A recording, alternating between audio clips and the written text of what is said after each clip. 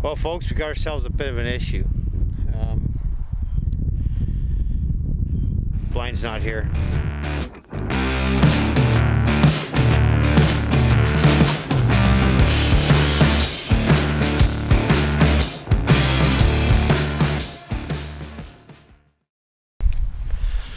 All right, folks, we're down here where the beer, the beer blind. okay, we're down here where the deer blind was. Um, it was right there. Only thing left is this small chair. Anyway, we're gonna go look around, see if we can find it. I'm not holding out a whole lot of hope for it. If so, I'm out 150 bucks. Just don't tell Jen.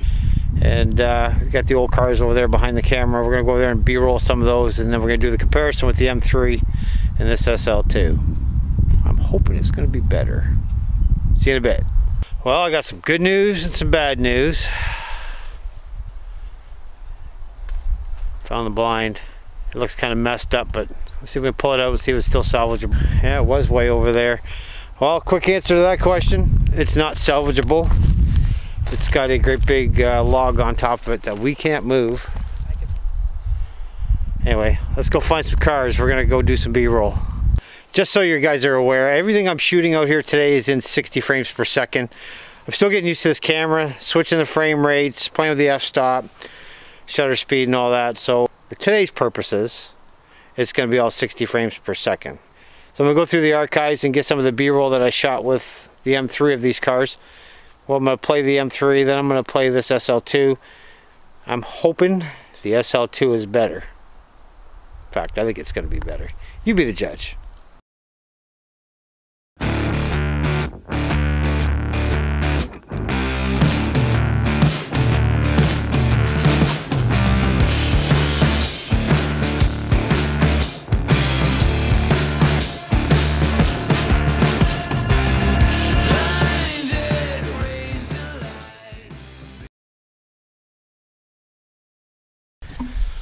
Alright, so this camera came with the 18 to 55 millimeter kit lens.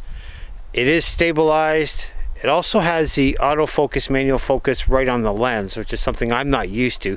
I'm used to changing it in the camera. So if some of this seems a little out of focus, again, it's usually user error. And this is going to be user error. So I'm still getting used to it. Bear with me.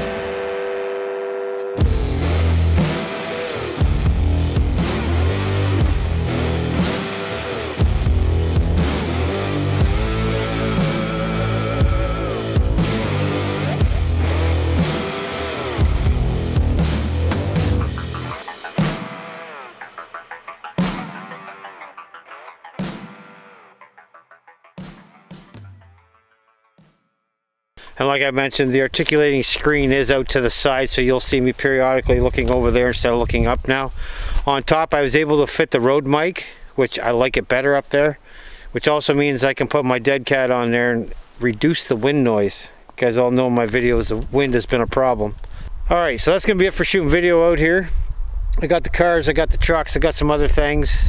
Uh, Nate's gonna probably spend some more money over there at the biscuit senders. Uh, as you know, we can't say what they are. YouTube doesn't like that very much. Obviously, we don't make any money on YouTube when you're playing with those kind of things out here.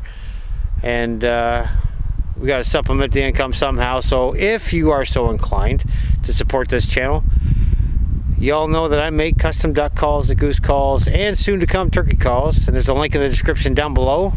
That'll take you to my website. It'll show you all the calls that we have currently on hand. And I'm making more pretty much every day. Uh, I know waterfowl season's over here in Ontario, but down south it's still going strong.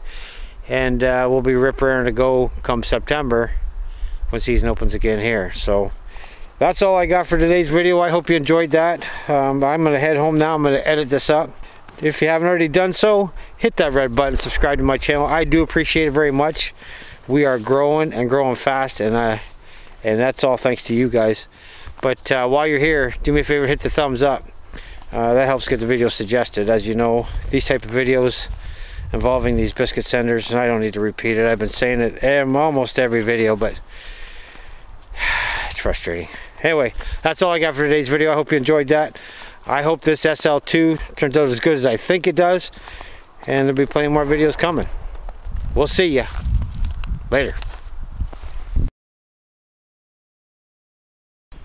Alright folks, pop quiz. Who can tell me what this is? Somebody, if you know what it is, leave me a comment down below. But this is the 16 current greatest hits. Little Willie, tie a yellow ribbon around the old oak tree. I can see clearly now. Crocodile Rock. Yeah, that's old. And in case you're wondering, that's Nate in the background with his shotgun. Watch don't get shot in the back.